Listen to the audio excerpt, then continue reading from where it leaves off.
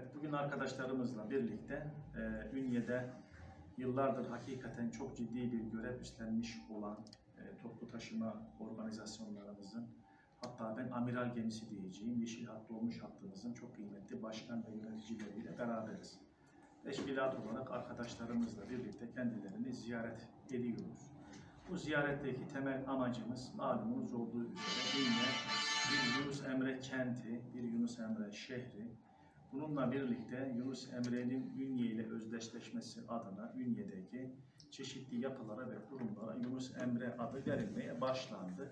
Bununla ilgili olarak da Yeşil Hattımızın çok kıymetli sahipleri, mensupları bir araya gelmişler.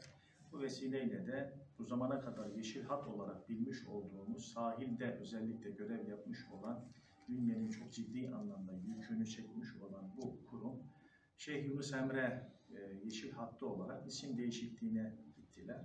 Ben duyarlılıktan dolayı kendilerine çok teşekkür ediyorum. Hakikaten dünya açısından çok önemli bir kazançtır. Anadolu erenleri içerisinde Yunus Emre'nin varlığının ne kadar önemli olduğunu, ne kadar çok ciddi yer tuttuğunu hepimiz biliyoruz.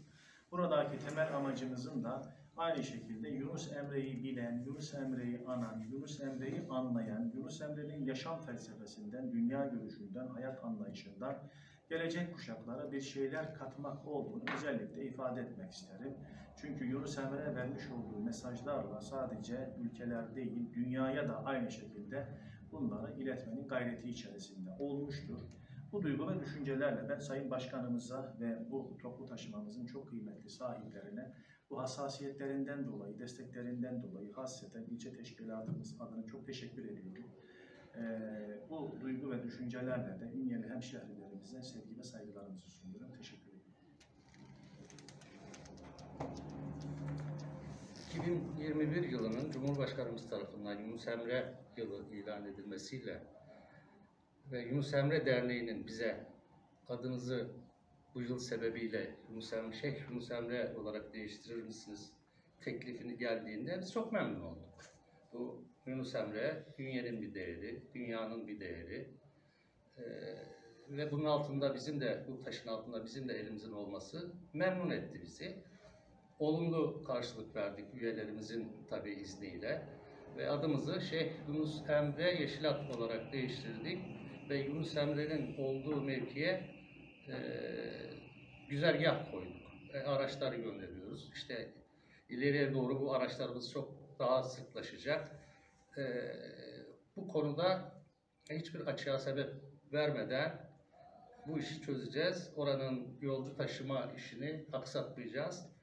Bu vesileyle başkanım da bizi sağ olsun ziyarete geldi. Ona da çok teşekkür ediyoruz. Çok memnun olduk, çok mutlu olduk. Bundan sonra desteğimiz de son derece fazladır başkanımıza. Her zaman emrindeyiz. Estağfurullah. Çok teşekkür ediyoruz. Çok teşekkür ediyoruz. Bizler de Yunus Emre'nin hakikaten e, öz Türkçe ile söylemiş olduğu bir dörtlükte, bir beyitle bitirelim. Yunus Emre tabii ki gönülleri irşat etmek üzere daha çok e, şiirlerini yazmış. O vesileyle de gelin tanış olalım, işi kolay kılalım, sevelim, sevilelim. Bu dünya kimseye kalmazdan hareketle esasında bu dünyanın kimseye kalmaması için insanları önce sevelim ardından sayalım diyor. Bunun da temel yolu ağzımızdan çıkan sözlerin ne kadar çok önemli olduğu ile ilgilidir. Bu duygularla da en son bir dörtlükte bitirmiş olalım. Yunus Emre diyor ki, sözünü bilen kişinin yüzünü ağ ede bir söz, sözünü pişirip diyenin işini sağ ede bir söz. Söz ola kese savaşı, söz ola kestire başı. Söz ola oğlu aşı, balını yağ ede bir söz demiş. Çok teşekkür ediyoruz.